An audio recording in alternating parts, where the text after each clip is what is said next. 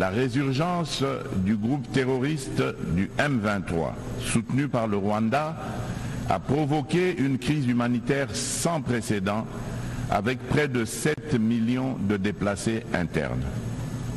Cette agression constitue une violation majeure de notre souveraineté nationale. Nous appelons la communauté internationale à condamner fermement ces actes et à imposer des sanctions ciblées contre le Rwanda pour son rôle déstabilisateur et néfaste. Nous exigeons le retrait immédiat et inconditionnel des troupes rwandaises de notre territoire.